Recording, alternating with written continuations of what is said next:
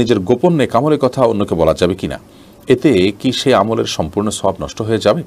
নিজের গোপন আমলের কথা অন্যকে যদি বলেন, নিজের জাস্ট আপনার যে অর্জন, সে অর্জনটা শুনিয়ে তার কাছ থেকে বাহবা নেওয়ার জন্য তার কাছে ভালো সাজার জন্য আপনার একটা অবস্থান হবে, সে আপনাকে ভালো জানবে এই উদ্দেশ্যে।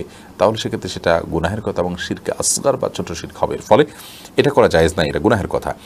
আর যদি কথার কথা চলে আসে এবং সেখানে আপনার এরকম কোনো নিয়ত না থাকে, তাহলে সেটা জায়েজ আছে। কিন্তু নফল আমল বিশেষ করে যত গোপন করতে পারবেন, ততই ভালো। ফরজ আমল এটা প্রকাশ্যে করার জিনিস জাকাত আপনি প্রকাশ্যে দিবেন, সলাত আপনি প্রকাশ্যে করবেন, সিয়াম আপনি প্রকাশ্যে করবেন। বাট নফল আমলগুলো যত গোপনে করা যায় ততই ভালো। আপনি দান সাদকা করার ক্ষেত্রে যদি প্রকাশ্যে দেন উদ্দেশ্য এটা থাকে যে আমার দেখা দেখে অন্যরা দিবে, তাহলে আপনি সেটা দিতে পারেন। আর যদি সেরকম উদ্দেশ্য আপনার না থাকে, তাহলে সেক্ষেত্রে আপনার জন্য স্বাভাবিক অবস্থাতে দান, দক্ষিণা এগুলোকে যত লুকিয়ে করবেন ততই ভালো এবং স্বভাবের।